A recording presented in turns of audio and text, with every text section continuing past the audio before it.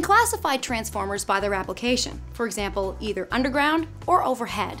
This wave is used to test the insulator housing of lightning arresters. You enter the tension on the x-axis and follow it up to where it intersects the line corresponding to the angle. The fault at the end of the service wire to the house regardless of whether the transformer is overhead or pad mounted. You'll note that both leakage distance and arcing distance increase with voltage. The diameter and the base thread for attaching the insulator to the bracket are physical dimensions.